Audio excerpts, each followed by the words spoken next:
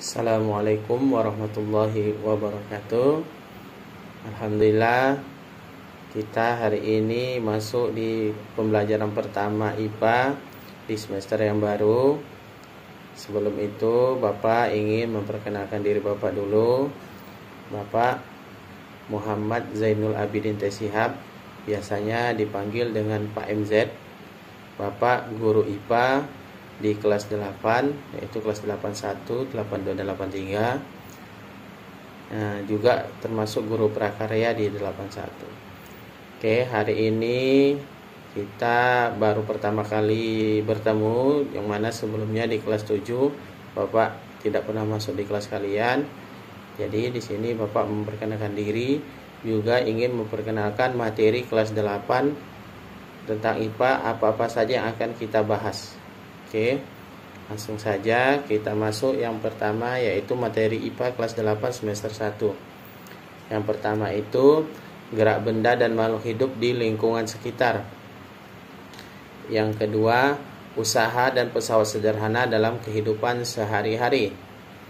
Yang ketiga, struktur dan fungsi tumbuhan. Yang keempat, sistem pencernaan manusia. Yang kelima, zat aditif dan zat adiktif. Dan yang terakhir, sistem peredaran darah manusia. Jadi di sini ada enam materi atau enam bab yang akan kita pelajari di semester satu ini. Oke, kita masuk aja. Yang pertama yaitu gerak benda dan makhluk hidup di lingkungan sekitar. Jadi dalam pembelajaran gerak benda dan makhluk hidup di lingkungan sekitar ini apa-apa aja indikator pencapaian yang harus kita dapat yaitu yang pertama kalian mampu menjelaskan jenis gerak pada makhluk hidup berdasarkan penyebabnya. Yang kedua, menjelaskan sistem gerak pada manusia.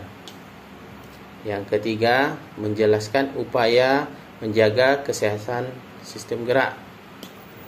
Yang keempat, menjelaskan tentang pengertian atau konsep gerak pada makhluk hidup. Yang kelima, menjelaskan tentang gerak pada benda. Yang keenam, menganalisis penerapan hukum Newton pada gerak makhluk hidup dan benda.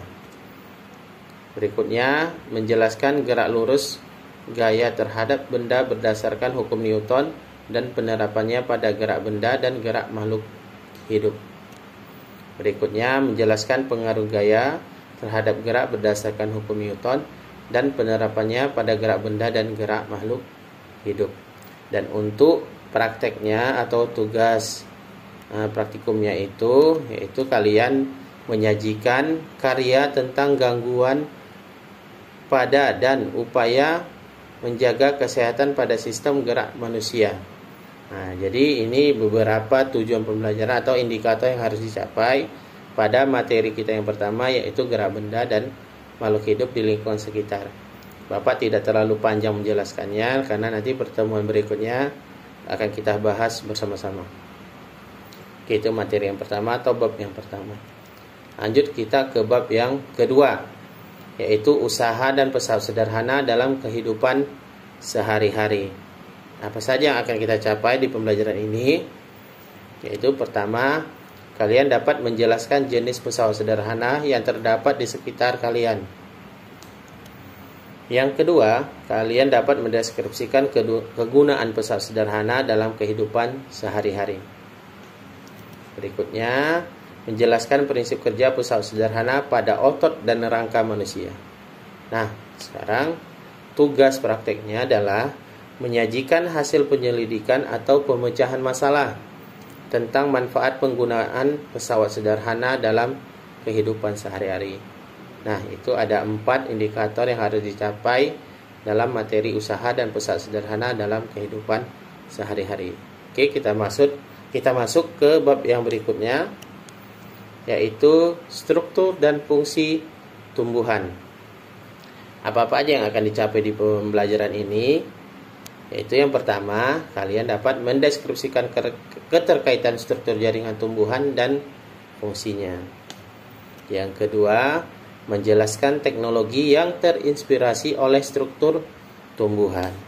Nah, untuk tugas prakteknya, kalian nanti menyajikan karya hasil penelusuran penelusuran berbagai sumber informasi tentang teknologi yang terinspirasi dari hasil pengamatan struktur tumbuhan. Nah, di untuk struktur dan fungsi tumbuhan ini ada tiga indikator yang akan kita capai. Berikutnya, sistem pencernaan manusia. Nah, pada sistem pencernaan manusia ini materinya yang akan kita bahas itu nanti kita indikatornya adalah yang pertama adalah kalian mampu mengidentifikasi organ-organ pada sistem pencernaan serta proses pencernaan di dalam tubuh. Berikutnya, kalian dapat menjelaskan gangguan dan penyebab yang berhubungan dengan sistem pencernaan. Dan yang berikutnya, menjelaskan upaya pencegahan terhadap gangguan yang berhubungan dengan sistem pencernaan. Dan tugas prakteknya adalah kalian menjanjikan karya hasil penelusuran informasi tentang gangguan sistem pencernaan dan upaya menjaga kesehatan sistem pencernaan. Itu dia empat indikator yang akan dicapai pada sistem pencernaan manusia. Oke, berikutnya materi yang kelima yaitu zat aditif dan zat adiktif. Apa-apa saja indikatornya? Yang pertama, kalian mampu menyebutkan jenis-jenis zat aditif. Berikut, kalian dapat mengidentifikasi berbagai jenis zat aditif pada makanan dan minuman. Berikutnya, kalian dapat menemukan solusi pengganti zat adiktif. Nanti untuk pada makanan dan minuman ya. Kemudian kalian dapat menyebutkan jenis-jenis zat adiktif. Berikutnya, Kalian dapat menjelaskan dampak penggunaan zat adiktif bagi kesehatan. Berikutnya menjelaskan beberapa upaya untuk menjaga diri dari bahaya narkoba ya, karena narkoba sekarang sangat berbahaya. Di mana-mana berita kita lihat banyak penyalahgunaan narkoba. Oke, dan yang terakhir tugas prakteknya adalah menyajikan karya tulis tentang dampak penyalahgunaan zat aditif atau zat adiktif bagi kesehatan. Nah, itu ya mengenai zat adiktif dan zat adiktif ada tujuh indikator pencapaian yang harus kita raih.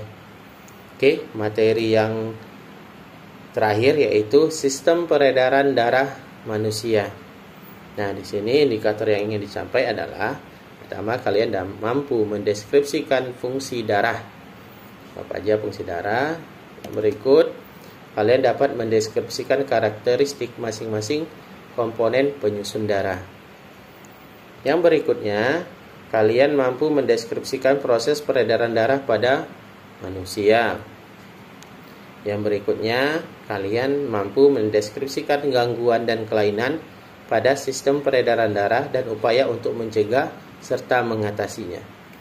Nah, untuk tugas prakteknya, Nanti Bapak minta kalian menyajikan hasil percobaan pengaruh aktivitas baik itu berupa jenis, intensitas atau durasi pada frekuensi denyut jantung. Nah, nanti ada itu tugasnya adalah memeriksa denyut jantung berapa kali frekuensinya setiap kalian melakukan aktivitas yang berbeda. Nah, itu tadi ada enam materi yang akan kita bahas di semester 1 ini. Bapak harap kalian sudah siap untuk memulai pembelajaran kita. Mulai minggu depan kita sudah masuk ke bab yang pertama. Untuk itu, apa-apa saja yang menjadi pertanyaan kalian atau apa-apa saja yang ingin kalian tanyakan kepada Bapak, silahkan melalui WA pribadi. Untuk itu, Bapak ucapkan terima kasih. Sekian pertemuan kita hari ini. Assalamualaikum warahmatullahi wabarakatuh.